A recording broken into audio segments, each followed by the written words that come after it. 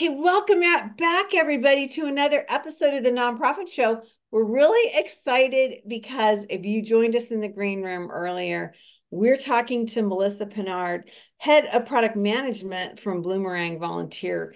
You know, Melissa, I love talking to you for so many reasons, which we're going to get into, um, because I think your backstory is fascinating. But you come to us from the amazing organization Bloomerang who's been so supportive of us, so supportive of the industry. But we're going to be talking about a different type of support, and that's volunteer appreciation. I think that you know a lot about this, don't you? Absolutely, yeah. So, so as you mentioned, so previous co-founder of that Bloomerang volunteer product that got acquired by Bloomerang last year. So I've been living and breathing the volunteer management problem for well over a decade now. I've learned a mm. lot of great tips from customers over the years, and I'm really looking forward to sharing them today. I am excited because we don't talk about this enough. And I know with our new co host panel, when we were having a team meeting and talking about this, they all got really excited about this topic because individually, all of these folks were saying the same thing, like we're going to be talking about today. And that is, what the heck? Why, as a sector, don't we spend more time and attention on this? This is the lifeblood of so many organizations. And so we're going to be excited to hear what you have to say.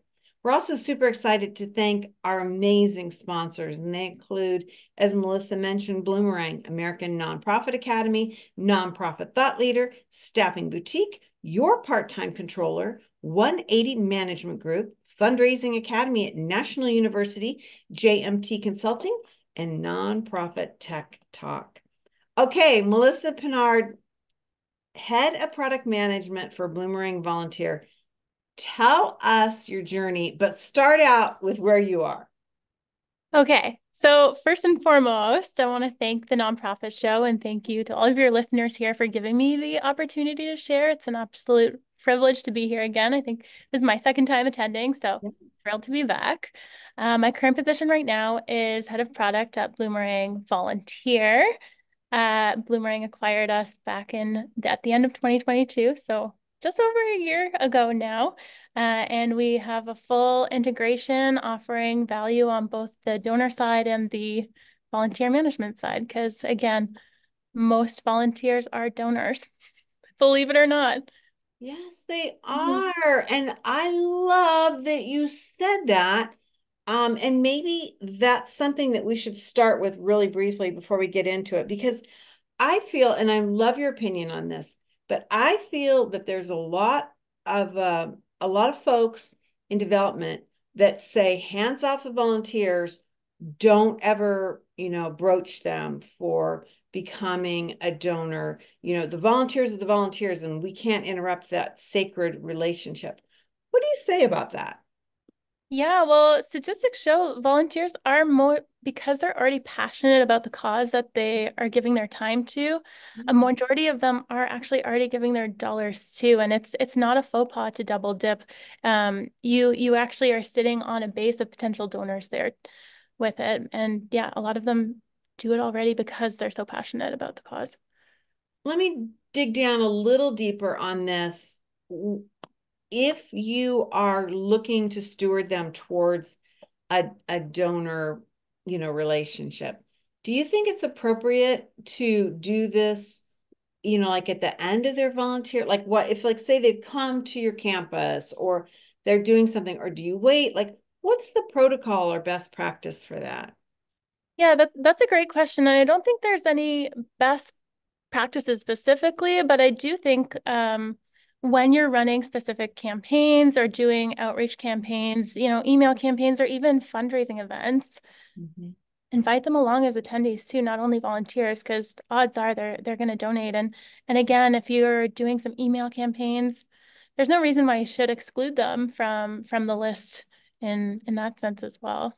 Yeah, I I love that you helped kind of clear that up because I have sat in many a board meeting, t- spoken with development directors, and that, you know, that for organizations that have a volunteer coordinator um, under programming or something like that, man, those two kind of cat fight like cats and dogs at times. You know, they're very like, don't offend my volunteers, you know? Yeah, yeah. It's such an interesting relationship. And I think most volunteers have no idea that this goes on within the nonprofit world. No, I don't think they do. And and so so us at Bloomerang right now, we're all about helping nonprofits thrive and we help them cultivate and foster authentic relationships. So so Mm-hmm. part of those relationships are all about the way like the various ways in which we give and volunteers are so special in that sense because they're not only giving their time to the organization, but in most cases, like I said,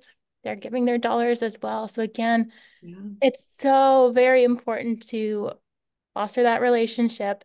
Um, it needs to be taken care of. And, and again, one of the ways in which you can do that is hosting a volunteer appreciation event to show your gratitude. I love it. Well, let's dig into this because, again, not to like, you know, be flogging ourselves, but we don't do a good enough job on this. And one of the pieces of advice you give us is to start even thinking about this process of having a volunteer appreciation event by assembling a team. What does that look like to you? Yeah, okay. So because this would be an appreciation event for your volunteers, Mhm. I'd be very hesitant to ask your existing pool of volunteers to help with the planning, right? Okay. This is an event for them. So ideally, you should be looking for people who have some kind of a connection to your volunteers still, but aren't volunteers themselves.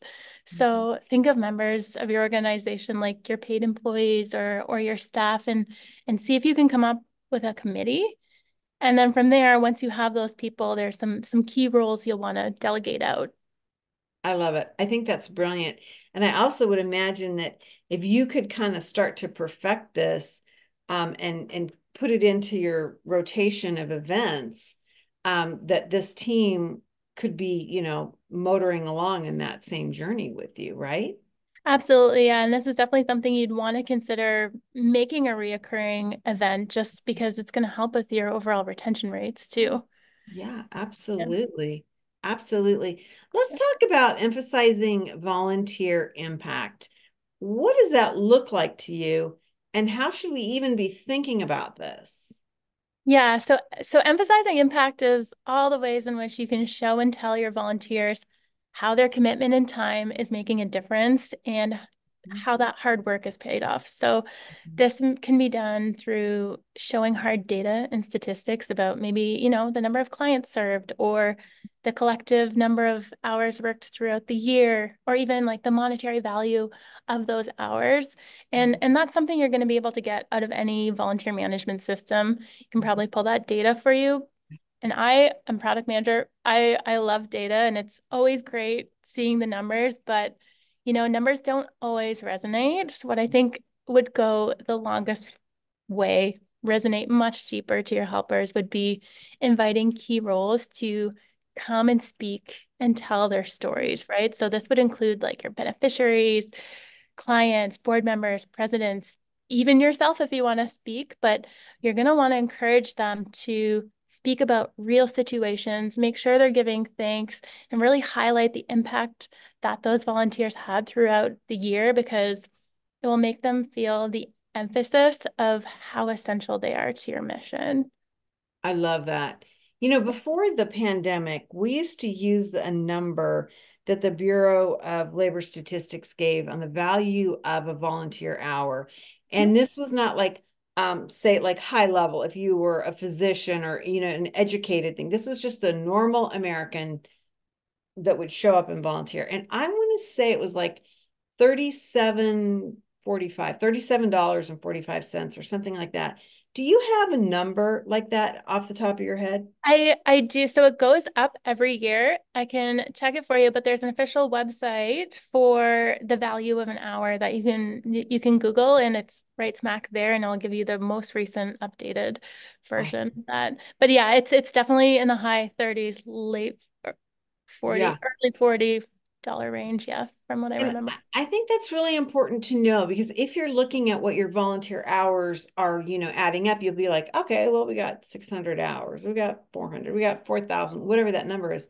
But when you multiply that out towards that hourly rate, holy smokes, that becomes like some real value there. Yeah, and then the organizations can take that and apply to grants with that information to Yeah. in order to get that money back into the organization. So it's a it's a super um, important metric to track too. And again, any like even Bloomerang Volunteer that that is a feature in the system that you can do and you can customize Mhm. um, hours tracking and and the monetary value of whatever you want an hour to be worth. You know, let me kind of segue into a, a different question, and that is with your experience, how often do you think nonprofits, and we, we go by this number 1.8 million registered nonprofits in the US? I don't know what it is in Canada, Yep. but how many organizations or what percentage do you think are even tracking vo- this volunteer impact? Honestly, it, it probably depends on like the segment and size of the organizations. If you're, you know, small or under small, and not a lot of them are currently doing that today. Usually like mid-sized to larger organization, that's when it starts to get really important too. But oh, oh gosh, uh, definitely a, a handful. Majority of the smalls don't right now. If Yeah. you had to track just one thing that that you could literally put up at the front desk or just something basic, what would that be? But what So, in- would you be chasing? Yeah, so outside of the world of fundraising and dollars raised and all of that, and strictly speaking, on the volunteer management side, I would definitely say the the hours worked, the collective hours worked across volunteers, because that again has this it has not only value but meaning too. This is the amount of time people have given us, Yeah. uh, just from a volunteer perspective, anyways. That that's definitely the the key metric to track for sure. Well, great. I appreciate you, you know, giving us that insight. I I kind of would have guessed you would have said that, but then I thought I better like drill down on this and make sure Mhm. that what I'm intuiting is actually really where where we're going. Another thing you talk about is to publicly recognize your volunteers. And this is an interesting thing because I'm wondering about how we do this, why we do this. Is there ever a time when maybe somebody says, I don't want this recognition? Yeah, yeah. So there's there's so many ways you can make your volunteers feel valued, especially when you're thinking about it in terms of an appreciation event. So I always love seeing people, you know, win awards or get certificates for their hard work, you know, maybe the person who worked the most hours this year or mm. whatnot. But one thing I would encourage everyone to think about is that there are things you can do leading up to the event, and there's things you can do after the event happens as well that you can continue on. So really taking a look at the platforms you have access to, right? Like your corporate website or your social media channels that you can leverage. Again, there's there's so much you can do um, for that. Like um, leading up to the event, you can use those channels to spotlight your volunteers and share some information about their service to your organization. There's always going to want to be volunteers that don't participate and they can communicate that and you don't have to share them specifically, but um, I've seen organizations showcase public leaderboards of who's worked the most hours in the month, the year, or even across the lifetime. One thing I've seen too is they actually, before the event, about two weeks, like a week or two before the event, they'd take it down to build up suspense to figure out who those awards are going to be given to. So that's kind of a fun idea. And then, uh, so after the event play, takes place too, um, there are things where um, if volunteers weren't able to attend, you know, you could host a live stream of the occasion or, you know, even send out a recording of it afterwards so that they still feel like they were part of the night, even though, you know, they couldn't attend. Um, after the event as well, um, could share photos out too with little thank you notes and captions and kind of continue the the streak um, of appreciation.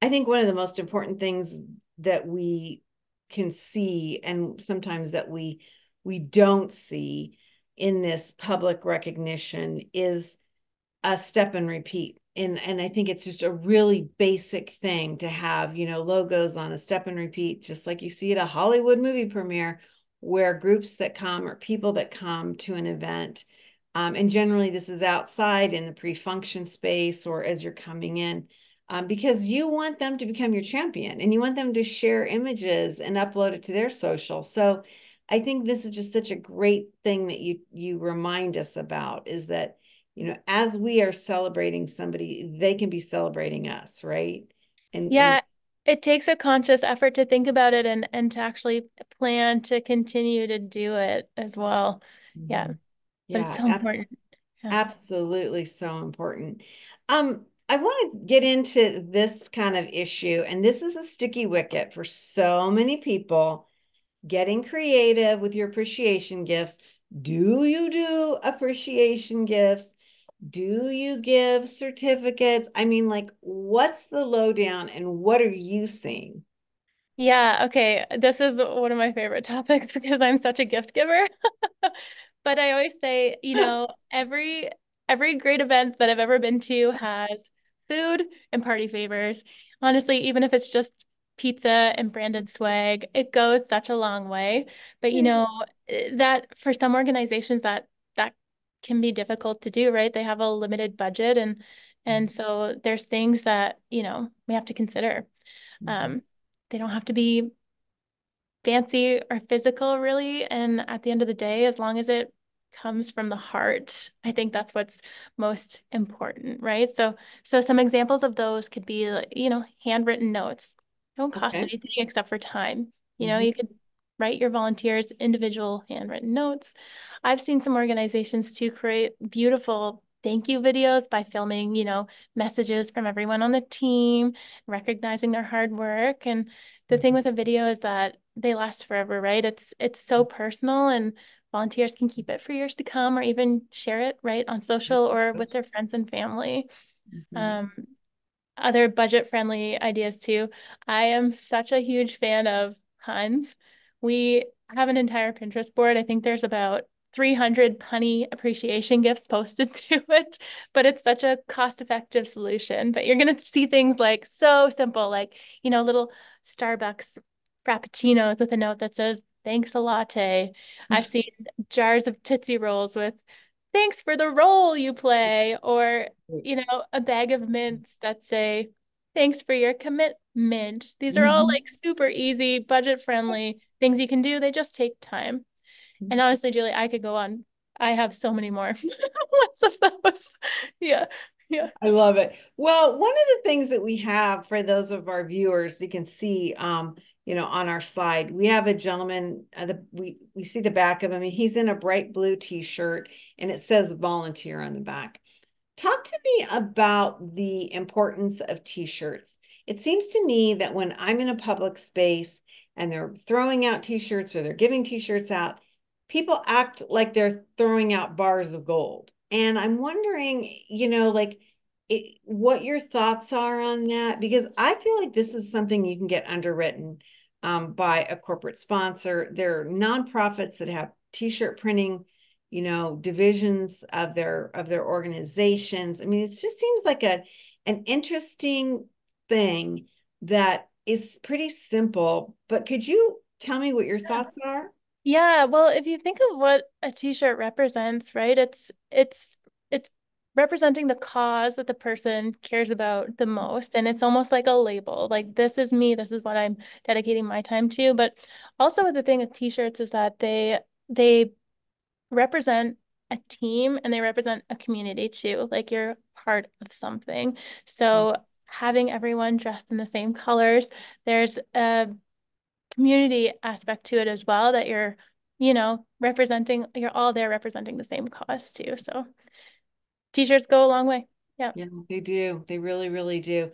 I think it's also if you are um, a corporate, you know, entity and you're delivering or you're you're gathering up your employees to go volunteer at an event. I think it's like brilliant. It's like cheap and dumb marketing. It's the most basic thing you can do is yeah. give everyone a t-shirt. You might spend 10 bucks on it and then you let them out and anyone who sees that group in red or blue or green or whatever with your logo mm-hmm. on it, I just think it's like, you know, it, yeah, it connects your volunteers to yeah. your mm-hmm. cause more deeply too, right? And it, it's gonna at the end of the day make sure they stay involved with with your mission. Right, right. We don't have much time, and I could be talking to you about this all day. Uh, we don't have a lot of time left, but I would love for you to kind of give us your sage advice on the difference between our corporate volunteer groups and our individual. And I'm wondering if you see like a big difference on how we should be thinking about events. Should we really be thinking about our corporate, you know, larger groups first or the individuals or toss them all together? Like, how do you stratify this? Yeah, I think with so if you think about corporate volunteerism, usually it's a group of people donating their time as a team. With corporate volunteers too, they they tend to be um we call them like one-time givers or infrequent givers, whereas your hardcore volunteers, your reoccurring volunteers who come back, you know, on a weekly basis. Some of them come every other day. Mm-hmm. Um, those I think you're going to want to spend a little bit more time cultivating that relationship mm-hmm. on. Now, I, there, there's no rules, so you can invite all your volunteers to the same event. Um, but I would, you know, consider that relationship slightly different than than the corporate ones.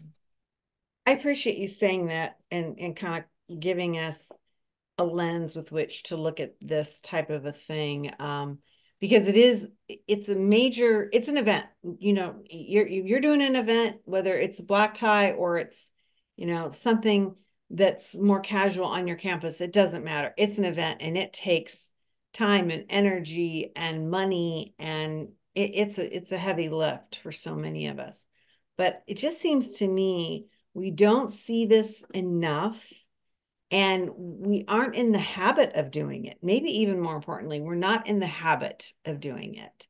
And I'm wondering if you see now that we're coming out of the pandemic and we're, you know, doing more events in general, what's your hope scale for this? I mean, do you think things are going to be, you know, moving forward or is this old school thinking of having an event like give us that that final bigger picture yeah, the well, during the pandemic, the events industry definitely took a hit. That's for mm-hmm. sure. Well, in-person events anyways, but then you saw the rise of virtual events yeah. coming. And there's no reason why you can't host a virtual event or a virtual appreciation event for your volunteers as well if, you know, logistics and, you know, you can't get a venue or whatever for the physical event. There's always ways in which you can take time out and I think it's just a matter of sticking to the schedule and just holding yourselves accountable to doing it and planning it however often you want to do it. Mm-hmm. You know, I'm going to share with you um, one of my, in, in preparation of our chat today, I was thinking about the best um, events that I, volunteer appreciation events I've been to over three decades. And um, I served on on the board of at the time was the nation's largest domestic violence shelter, and the young woman who ran the uh, she had a lot of things she had to do, but one of the things that she did and she did really well was the volunteer appreciation event. And I always volunteered as a board member to go and work it because it was like the most joyous fabulous thing. And she created all these different awards. And like you said in the beginning, Melissa, you know how many hours worked by this group. And and we we would have large groups within large corporations in our community um, compete you know to to do the most hours and you know do these drives and everything. And today that young woman is the governor of our state katie hobbs. Really? Oh yeah. wow. Wow. Yeah, yeah. So isn't cool. that cool? yeah very yeah. cool it's really cool. And I, I thought about that and I was like, holy cow, you know, Katie Hobbs put that on. And it was, I, I'll tell you, you know, working in domestic violence, it's it's a tough topic and you don't get a lot of wins, right? Mm-hmm. You don't get a lot of things to celebrate, yeah. especially publicly. And yet this was one of those things that was very public and it was very positive and it was very hopeful and it was very joyous. And I've got to believe that folks that left that event were like, when can we volunteer again? Like Inspired. in the parking yeah. lot, right? Leaving yeah. the event. It was casual. We held it in a um, every year in a church, um, like community center, wasn't affiliated with our group at all, but we could, they, they gave us the space. We had like a hamburger and hot dogs kind of, you know, cuisine. It was not Food. fancy. Food. Food Yeah. and t-shirts, my friend. There you go. Yeah, that one thing you mentioned too that I really liked hearing you say was the the fostering of friendly competition, not only amongst like the corporate volunteerism, but you know, that can happen too if if you show that public leaderboard amongst your own volunteers is getting mm-hmm. more time donated to the organization just purely out of competitive nature of people. Right. Yeah. Well, one of the things that she did and you know and the team did is that they really made that event. It was like quasi academy awards to you know it was a lot of a lot of awards right? You know best drive right? Because there were groups that had you know drives. There was the number of hours. You know it was the best project. It was you know all these different things that people did and um where they you know came up with an idea or they you know took a part of the campus and they beautified it or they decorated um, you know, some of our um, shelter space, or you know what I'm saying? It was there was a lot of things going on. It wasn't just one type of volunteering, and I think that was for me. That also became very inspirational, right? Because it showed it it it it gave me I new ideas. Oh my gosh, we could do that. We could, you know. There are people telling their own stories of how they gave. Yeah, it's the power of yeah storytelling. Yeah, the power of storytelling. Well, you, my friend, are fabulous. And I love your story. I love how you have um, expanded so much greatness in our sector. And of course, your partnership with Bloomerang and ultimate uh, leadership with the Bloomerang Volunteer. Super cool thing, super important. Melissa Pinard head of product management at Bloomerang Volunteer. Check out bloomerang.com and you can learn more about the things that they've got going on and you can follow Melissa and, and her work and get her amazing thought leadership. You know, um, Melissa, no secret, I'm a huge fan of Bloomerang, but one of the things that I appreciate the most, it's like our conversation today. You all give freely a hell of a lot of information. You do not have to be a client of Bloomerang to get these resources and learn and get training. And to me, that's just magical. So I applaud you and your team on that. Yeah, yeah. We're all about making the world a better place, whether you're a customer or not. It's all about giving.